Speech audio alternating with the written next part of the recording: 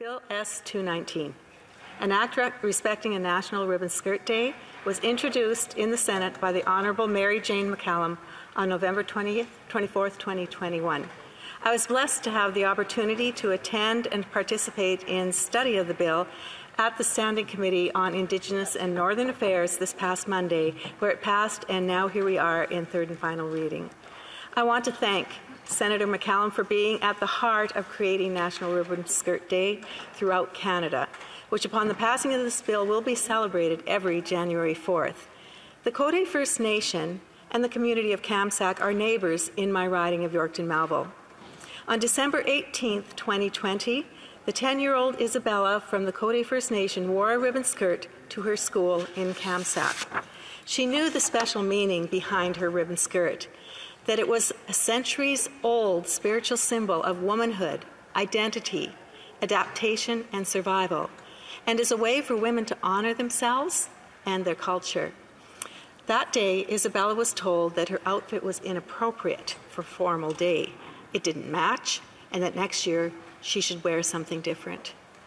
I want to say directly to Isabella Isabella, I am so sorry you were exposed to such hurtful and devastating experience, and that it was embarrassing and humiliating.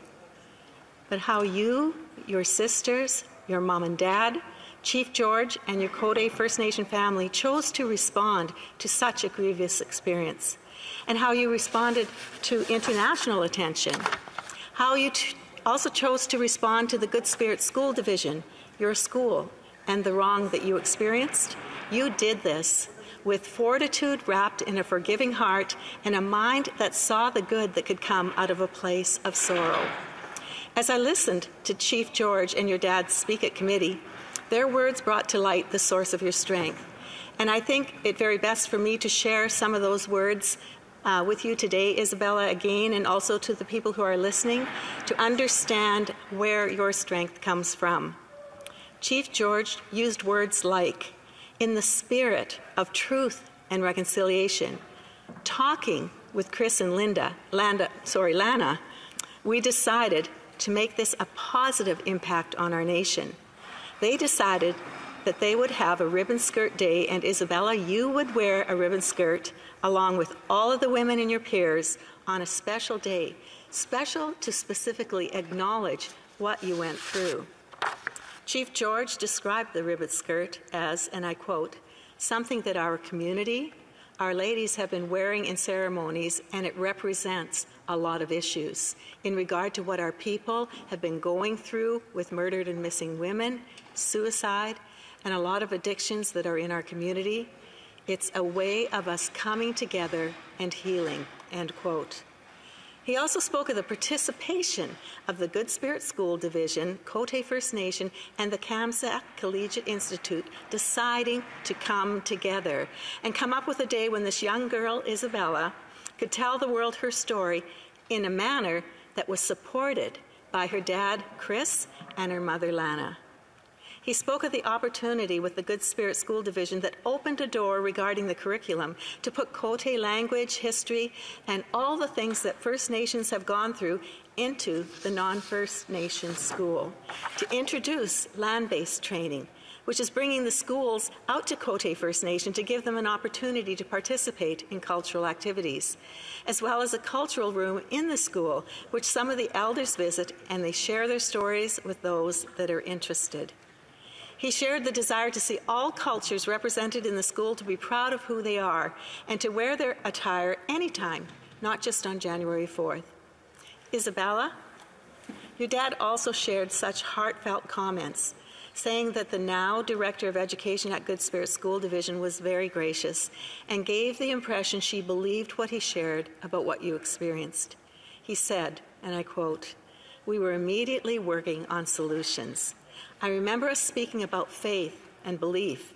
I remember speaking about the coat of many colors and how the Creator made such a wondrous variety of people that we might fellowship and be close together and learn each other's ways, learn to be tolerant of each other and loving of each other. He went on to say, These are all values that my family stands firmly on. We have to be the change that we see in the world.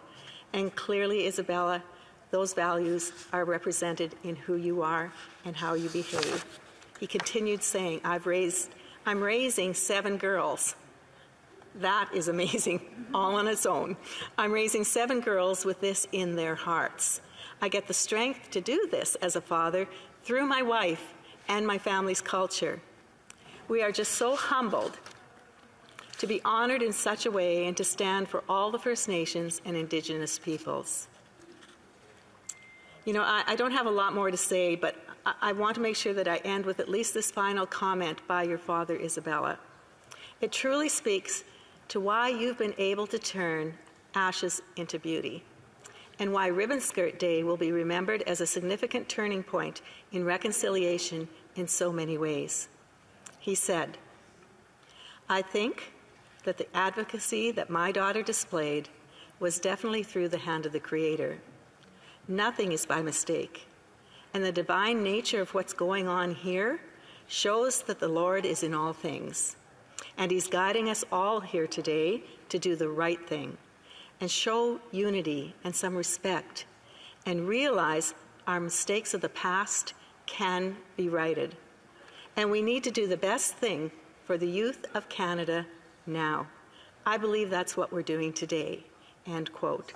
So I just want to say, uh, Isabella, I am looking forward to January 4th on being home, no matter what. I don't know what else is going on. I'll have to talk to the whip, possibly. I don't know. but I will be there, and I'm so grateful for the invitation. And again, uh, this is an amazing uh, achievement of reconciliation, and I'm so very pleased uh, to represent the, the um, First Nation of Cote and the communities of Yorkton Melville. Thank you, Madam Speaker.